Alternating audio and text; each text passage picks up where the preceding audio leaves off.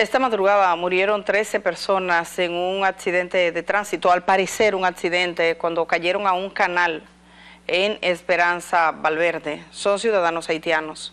Al parecer indocumentados, todos juntos, 13 personas, incluyendo niños, transportados en, una, eh, en un vehículo, en un solo vehículo. Una jipeta trasladaba a todos. Yo creo que ese vehículo está ahí puesto, pero no es ese, me parece, el que originalmente... El periódico El Día.com.de tiene una fotografía de la jipeta eh, donde ellos se desplazaban. Déjame buscar esa fotografía para compartírsela, porque este vehículo que está ahí, veo que es un vehículo de transporte de pasajeros. Pero bueno, esa es la nota de esos son, no, dice estos son todos los fallecidos, ahí están todos, los de mucho tiempo.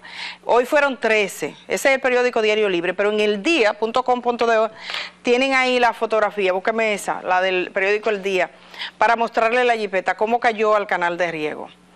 Entonces, tenemos varios accidentes, que eso es lo que hacía Diario Libre. Porque si usted coge, yo hice ese ejercicio y puse en Twitter Valverde haitianos unos indocumentados en una jipeta, otros en una guagua perseguidos por miembros del ejército, otros que tuvieron un accidente, otros que recientemente eh, le encontraron cinco ciudadanos haitianos también que lo traían trasiegos desde Haití.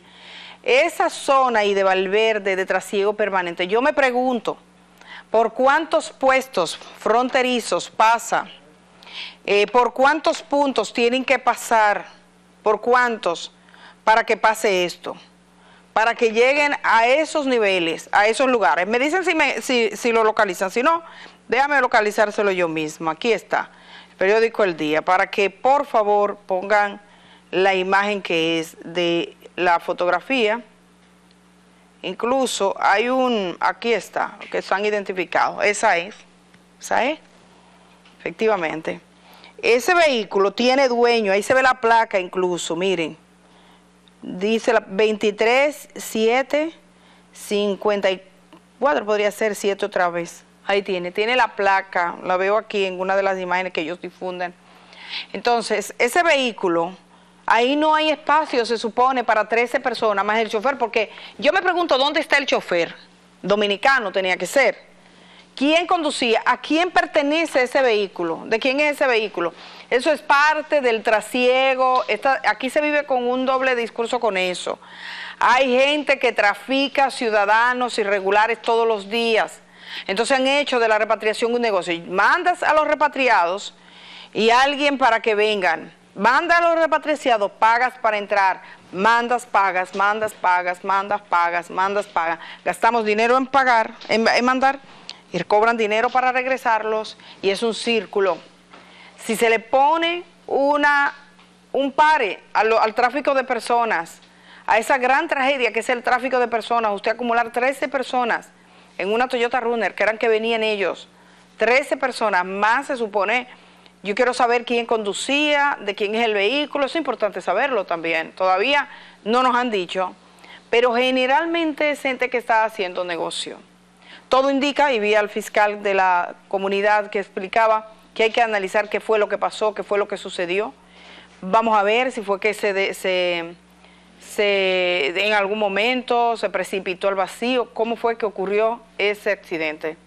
Las agencias internacionales están cubriendo eso y ya identifican a, a cuatro de las personas fallecidas. Son personas en situación migratoria irregular que pagan para entrar.